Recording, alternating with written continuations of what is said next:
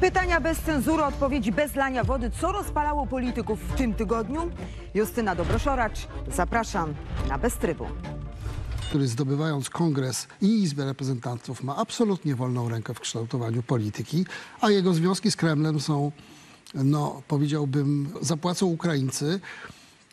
Myślę, że Jarosław Kaczyński po raz kolejny dał się wmanewrować w Tera, który robił interesy w Ukrainie.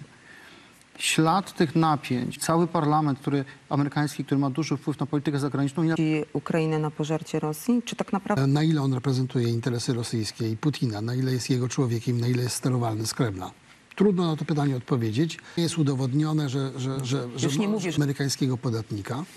A, to jest była niezbyt mądra, ale ona wyrażała pewne nadzieje. On, on ma grupę polityków, których wspomaga. gdyby wystawili demokracji faceta? Ja uważam, To, żeby mu nie wyrosła rozumiem, ale to E, konkurencja. partii akurat nie są gotowi na prezydenta kobietę, zwłaszcza w obecnych czasach i Amerykanie nie byli zadowoleni ze swojej sytuacji ekonomicznej. I to jest główny element. Oni nie głosowali Ideologia nie miała takiego znaczenia. Na przykład sprawa aborcji nie- wcale nie miała takiego znaczenia, równolegle były referenda. Nie miała Sikorski nie za bardzo. Sikorski może przegrać te wybory. Trzaskowski na dzisiaj raczej nie. I misuje swoim, swoim, swoim wyborcom jakąś rzeczywistość. Tak? Dostarcza mu jest Macierewicz się zachowywał. Tam na drodze, wyprzedzając na pas, Donald Tusk i jego ekipa trochę ulegają takiemu myśleniu, że jeżeli będziemy wprowadzać oszczędność